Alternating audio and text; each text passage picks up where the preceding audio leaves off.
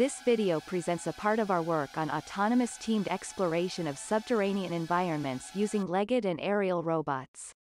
In particular, an autonomous exploration mission using our resilient microflyer Obelix robot inside the Hagerbach underground mine in Switzerland is presented.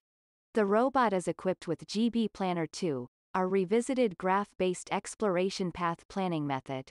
The planner is capable of efficient local and global exploration, with the first being responsible to guide the robot towards new exploration directions based on the map of its surroundings by spanning a dense local graph, while the second uses a sparse graph representation across the full explored map and enables repositioning to frontiers of exploration space, as well as auto-homing.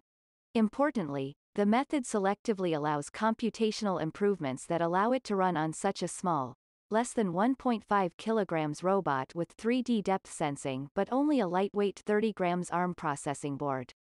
In particular, the planner on this robot evaluates exploration gain only on the leaves of the Dijkstra paths available on its iteratively spanned local graph, while it also further clusters the vertices within a certain radius thus allowing to calculate the gain only once for each cluster.